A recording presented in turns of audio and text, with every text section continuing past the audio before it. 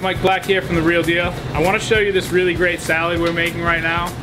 It's called the kale chop salad. So we're starting with some chopped green kale and some red cabbage, and then some really nice sweet golden beets, shredded carrots, because carrots and beets really go together. That flavor is work really well. And we got some white beans. It's a nice source of protein, gives us some nice texture on the salad. Also some dried cranberries. Finish it off, some slivered almonds. Again, we have this cranberry vinaigrette we make in-house. Cranberry puree, some dried cranberries, red vinegar, olive oil, and it really makes this salad pop. Come on down to try our kale chop salad on our seasonal menu for the winter.